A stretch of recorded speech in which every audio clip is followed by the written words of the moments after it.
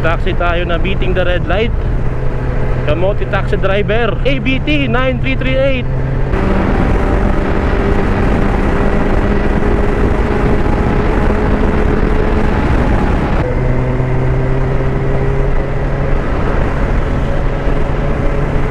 So ngayong gabi, try natin na gamitan ng 1600 ISO and let's see kung maganda or maliwanag yung kuha ng ating GoPro Hero 8 Black.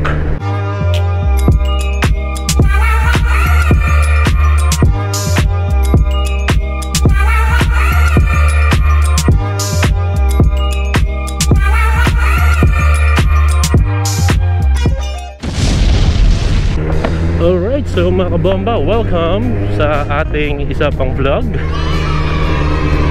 And by the way, sa uh, vlog na to, wala, nothing special mga kabomba. Kasi nga, uh, testing na natin yung ating GoPro Hero 8 sa gabi. And I'm using GoPro Hero 8 Black and 1600 ISO mga kabomba. So pag umaga until 800 ano lang ako, 800 ISO lang ako kasi baliwanag naman eh. Maganda mag night vlog ngayon kasi hindi masyadong matraffic kasi nga gabi. And this is just a test of our GoPro Hero 8 Black. So yung motovlog na to is maiksi lang. Hindi siya abot siguro ng 8 minutes vlog or 10 minutes vlog. Really, nigga? Kasi nga, uh, ikot lang ako naman eh.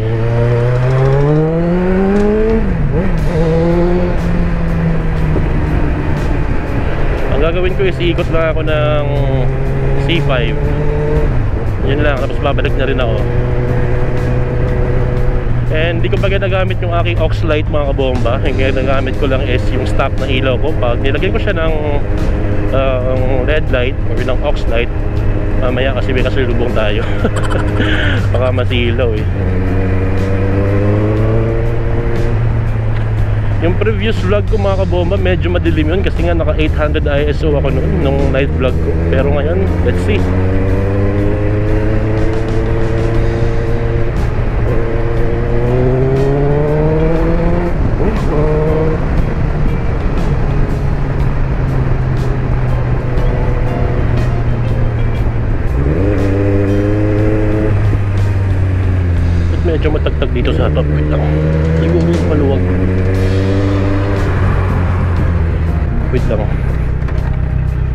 medyo may tumutunog sa harap eh.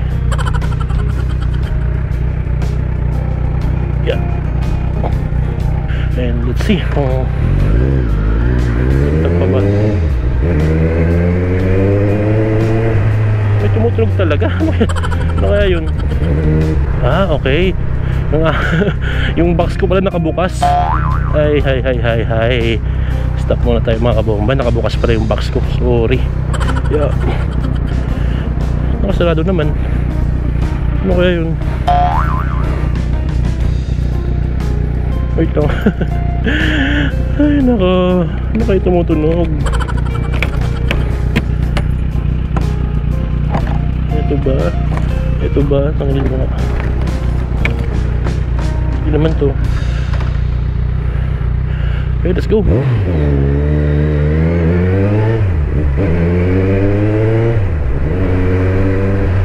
oh nawala ng tagtag.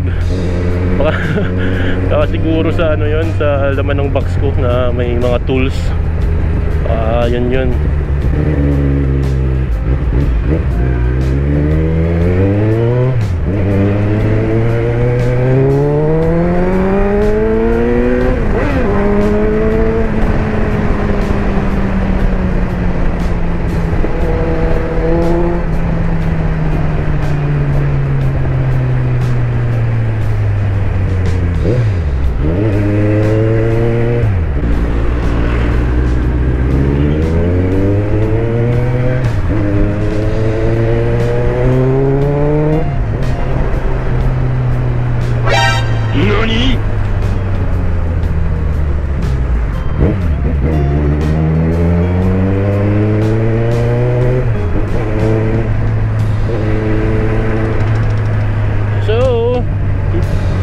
dito na tayo ngayon sa Hindi ko alam ng lugar to eh. Basta tagig na to.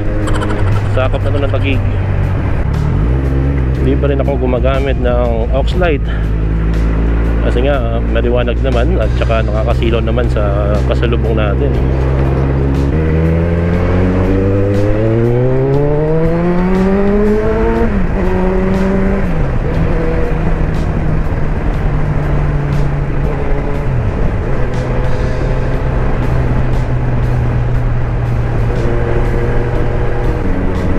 Pala, yung helmet ko.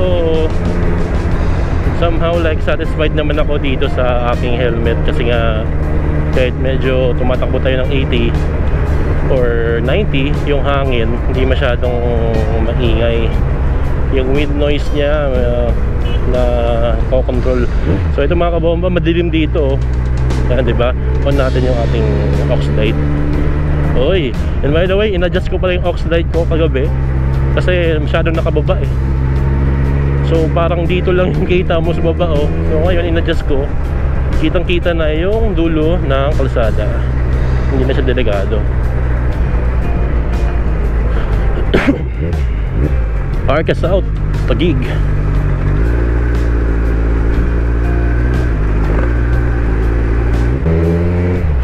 So mga kabomba, may mga nagtatanong kung bakit na araw-araw talaga ako or after 2 days. Kaka-upload ko lang ng video ko after 2 days. May bago na naman ako video.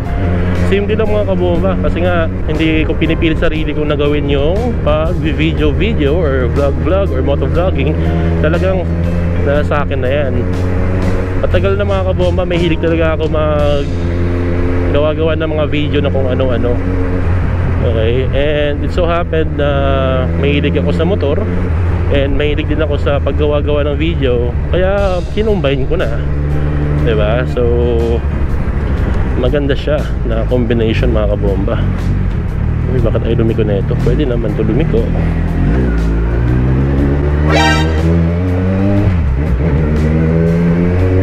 Natatakot siguro siya kasi may may bumabantay. Pwede lumiko dun sir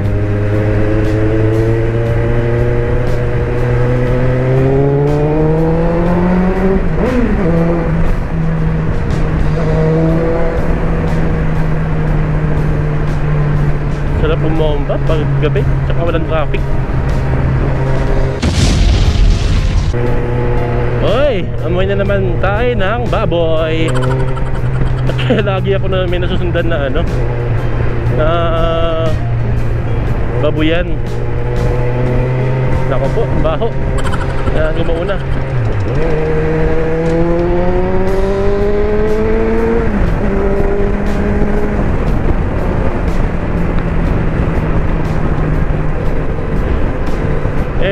this is also a test sa ating uh, microphone pag tumatakbo tayo ng 100 and above kung nag-static pa ba yung boses or nagpa-flicker yung ating boses.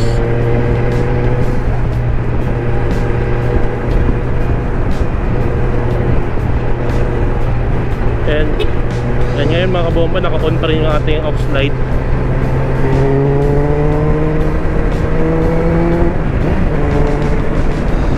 Ayan, nararamdaman ko na yung wind noise pagpatak ng 105 or 100 and above. Medyo nag-iiba na yung ihip ng hangin pag ganito mga kabomba.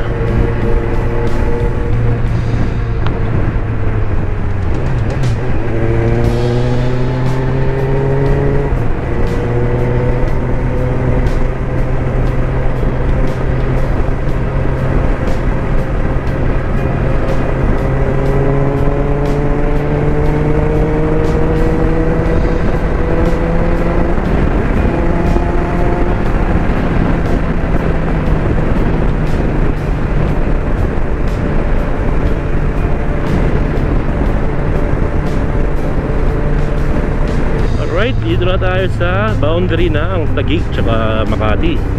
Ang bilis lang kasi nga wala naman traffic, di ba? Ang gagawin ko ngayon, mga kabomba, is iikot ako doon sa intersection or elevated U-turn sa may buting. Oy, naka-red! Ba't ganun sir? Sinakto talaga sa akin.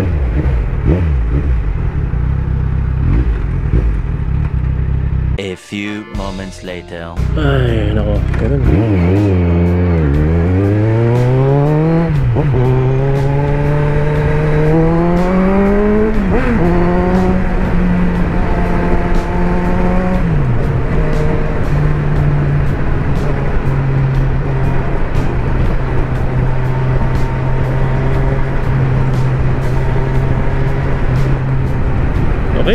Market or I mean SM Aura na tayo mga kabomba. SM Aura. So sa part na to ng uh, Makati or C5 medyo madilim talaga dito ever since. Okay, so kaya pinili ko na dito dumaan um, kasi may mga parts na yung C5 na madilim, may parts na maliwanag.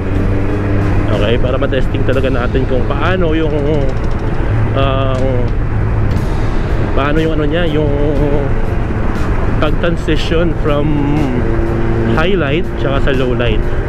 Okay? Ayan, eh. ito na sinasabi ko na elevated U-turn dito sa Pasig or go alam, sakop na ba to? Sakop pa ba ng Pasig to? Sakop ng dito Pasig, pagtawid sa kabila, Makati, 'di ba? Dito Pasig ha, pagdating sa kabila, pag U-turn mo sa kabila, Makati na.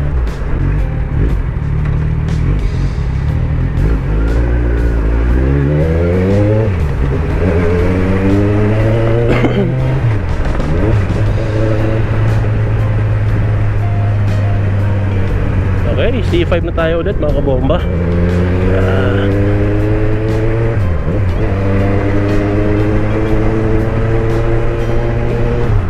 Kasi before, tinesting ko yung aking GoPro Hero 8 sa madilim na lugar.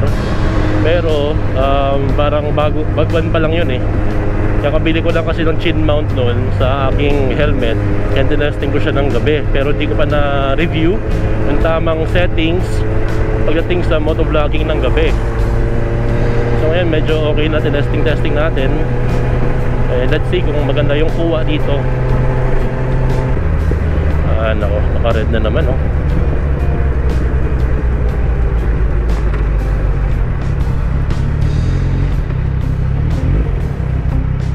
Ay nako, may mga truck talaga na pasaway ng huli eh, kaya hinuhuli sila eh malamang ano yan, beating the red light.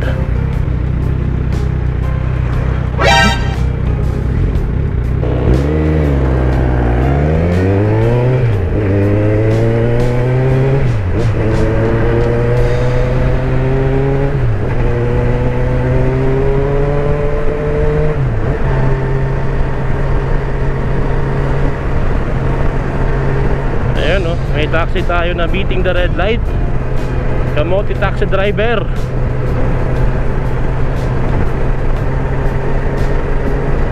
Napakamote ABT 9338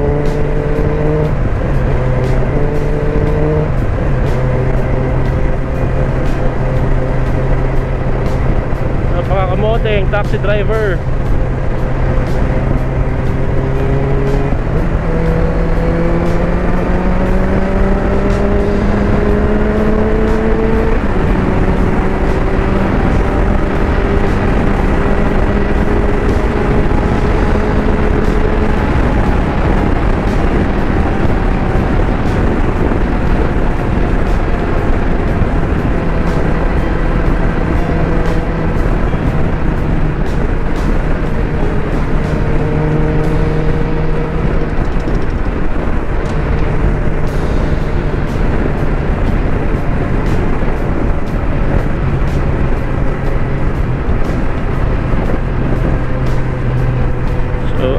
kabomba naka turn on pa rin yung ating um, box light dito. Sana kinaya ng ating microphone yung takbong ganun. Sana okay pa rin siya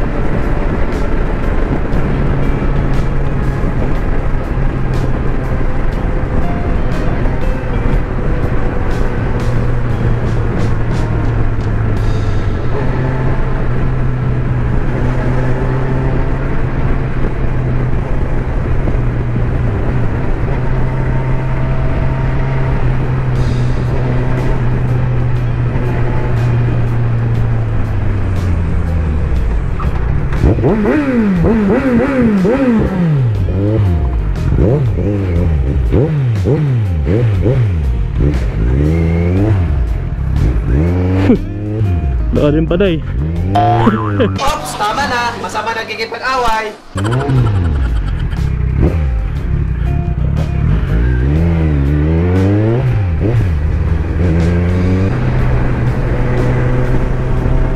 Si Kamoteng, taxi driver.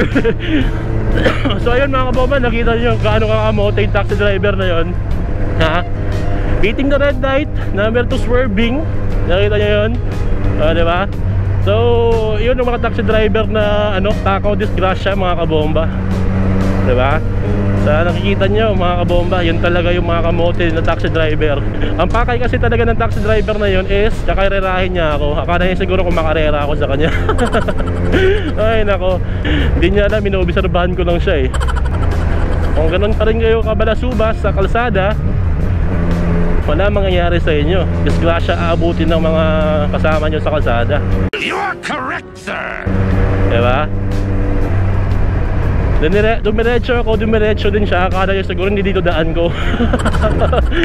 tumigil siya, tumigil din ako. O ano ngayon? Diba? Meron kasi yung yan mga kabomba.